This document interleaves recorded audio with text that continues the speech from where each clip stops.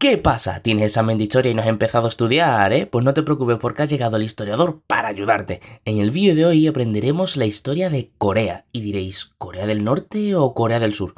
Pues eso vamos a ver, así que coge tus palomitas y bebida favorita que nos vamos de viaje a Corea por unos minutos. Para empezar, ¿sabes dónde está Corea del Norte y Corea del Sur? Pues bien, primero tendremos que saber eso, y es que ambas Coreas se sitúan, por decirlo así, entre Japón y China, en el este de Asia. Entonces, ¿por qué no es Corea normal y ya está, y son países divididos?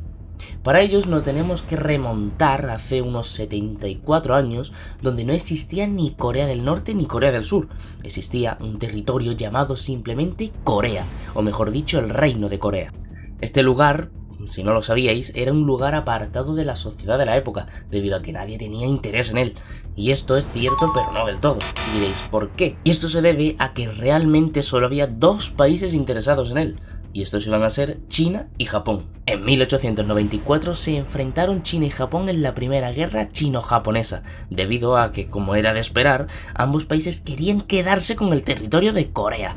Un año después, dicha guerra fue ganada por los japoneses y durante los próximos 10 años, Japón se apoderaba más y más del territorio coreano. En 1904 y 1905, un país casi vecino también se metió para defender al pueblo coreano de los japoneses, y como era de esperar este, también lo hacía por sus propios intereses. Esta guerra ruso-japonesa no influiría en mucho debido a que solo hubo muchas muertes y ningún vencedor.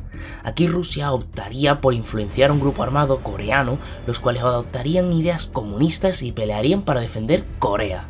Pasamos ahora a los años 1939 a 1945, Segunda Guerra Mundial. Lo que conocemos es lo que pasó en Europa, pero en el este también se estaban librando batallas.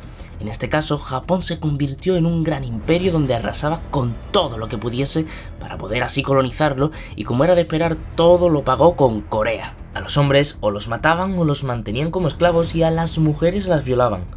A todo esto, los japoneses les prohibieron a los coreanos hablar su propia lengua, ya que querían hacer que fuesen eliminados tanto su cultura, tradición y costumbres. En 1945, Estados Unidos derrotó a Japón tirando las dos bombas más famosas del mundo, el problema no acaba aquí, ya que los grandes debían decidir cómo se iban a dividir los territorios. Y diréis, ¿y quiénes ganaron?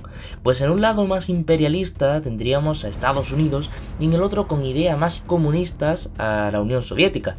Alemania, como ya sabemos, entra como perdedora y esto se vio reflejado con el famoso muro de Berlín. Pero bien, volviendo al país asiático, como ya hemos visto, Japón había sido derrotada. Entonces, ¿quién se quedó con Corea? Pues bien, la Unión Soviética ya estaba prácticamente instalada en el norte y Estados Unidos en el sur, y tomando de referencia el paralelo 38 la dividieron. Pero esto no acaba aquí ya que tenemos dividido el territorio pero ambos querían gobernar todo el territorio. En 1947 la ONU propuso elecciones para decidir dicho tema, al cual la Unión Soviética se negó. Ambos entonces pusieron a unos que fuesen de acuerdo a su ideología, obviamente, Estados Unidos nombró a Sigmund Rhee. Por otra parte, fue nombrado Kim Il-sung, nacido en Corea y luchador por parte del ejército comunista contra Japón.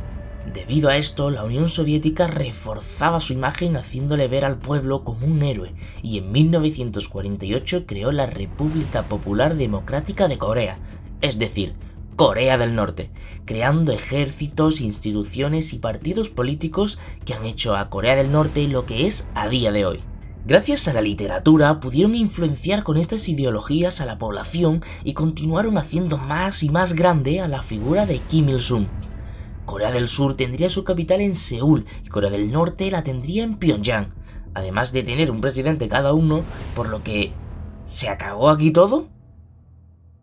Pues no, al revés, aquí es donde se agrava todo y al estar divididos, como he mencionado anteriormente, ambos querían la otra parte del territorio y gobernar toda la península. Esta rivalidad creó una batalla que provocó casi la tercera guerra mundial, así que imaginaos la magnitud de esta. Aunque cada una de las partes asegura que la otra fue la que atacó primero, el 25 de junio de 1950 se desató una batalla entre los dos bandos, el de Corea del Norte y el de Corea del Sur sobre el paralelo 38, marcando así el inicio de la Guerra de Corea. Con la guerra ya empezada, en muy poco tiempo el ejército de Corea del Norte había penetrado en el territorio del sur poniendo rumbo a su capital, Seúl. Esta estaba preparada para recibir 230 tanques rusos y un ejército entrenado por la Unión Soviética por parte de Corea del Norte. El ejército surcoreano estaba entrenado por Estados Unidos, pero pronto se dio cuenta de que el enemigo era bastante más fuerte que ellos, por lo que tuvieron que abandonar Seúl buscando un poco más de seguridad más al sur. Y ahora os voy a contar una mala idea organizada por parte de Corea del Sur, ya que iba a acabar con la vida de miles de personas que para que Corea del Norte tardase un poquito más en llegar, explotaron un puente que atraviesa el río Yang. Como os acabo de decir, la mala noticia fue que el puente no estaba vacío. En ese preciso momento estaban pasando miles de personas, entre ellas soldados y refugiados, los cuales huían de la masacre norcoreana. El 28 de junio de 1950, Seúl ya había sido tomada por Corea del Norte, por lo que ya estaba casi todo listo, solo tenían que seguir bajando por el territorio de la península para terminar de conquistarlo. La ONU dictaminó que el que empezó todo fue Corea del Norte, por lo que envió tropas para apoyar a los surcoreanos. Más de 22.500 soldados fueron enviados desde varios países, Australia 17.000, Tailandia 3.626, Francia 1.119 y Colombia 1.068. Además de países como Estados Unidos que envió más de 300.000 soldados. Sí, si los otros números os parecían una burrada, este ya ni os cuento. El general Douglas MacArthur fue el que dirigió a todas las tropas de la ONU en esta batalla que para nada iba a ser fácil. Parecía que Corea del Norte lo iba a tener fácil, ya que el ejército de la ONU tenía armas anticuadas y la moral por los suelos, rindiéndose en cada batalla que libraban.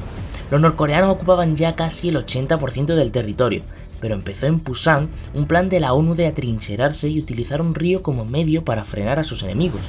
Más de cinco semanas se llevó el río observando cómo ninguno de los dos bandos cruzaba, pero vuelvo a mencionar al general Douglas MacArthur, ya que ideó un plan ofensivo y este era rodear toda la península con soldados estadounidenses, desembarcar con una invasión anfibia y a partir de ahí intentar recuperar Seúl y cortar los suministros de todos los norcoreanos del sur. Nos vamos ahora al 7 de septiembre de 1950. 75.000 soldados estadounidenses en más de 250 navíos ponían rumbo con un objetivo, Seúl. La invasión, que duró 5 días, fue todo un éxito y lograron avanzar desde el puerto de Incheon hasta Seúl, y el 25 de septiembre la ONU recuperó la capital dejando sin suministros al ejército de Corea del Norte. Los surcoreanos ahora más fuertes y hasta finales de septiembre lograron recuperar casi todo el territorio de Corea del Sur, y Shin Man-ri por su parte quería seguir hacia el norte para reunificar toda Corea. El 19 de octubre, Pyongyang, capital de Corea del Norte, fue tomada por la ONU y continuaron avanzando y como era de esperar, los soldados de la ONU se veían ya volviendo a sus casas. Pero como todo en esta guerra vuelve a torcerse. No, God! No, God, please, no. No. No. No. Ya que en China se proclamó la República Comunista de China y eso que la ONU con Estados Unidos estuviese de vecino con ellos no le hacía mucha gracia, por lo que enviaron soldados para combatir y volver a dejar la batalla en el paralelo 38. El 27 de julio de 1953, tras muchas negociaciones, se firmó el armisticio entre ambas partes. Este documento decía que aunque no hubiese acabado la guerra, ambos se comprometían a no atacar al otro, y además se declara la nueva frontera, entre ellos 4 kilómetros de ancho de zona neutral desmilitarizada, la llamada también, por si jugáis al Warzone, DMZ. Así que bueno, espero que te haya gustado este vídeo, que ya sepas más sobre Corea, así que suscríbete que es gratis y deja en la cajita que te ha parecido este vídeo. Nos vemos pronto, adiós.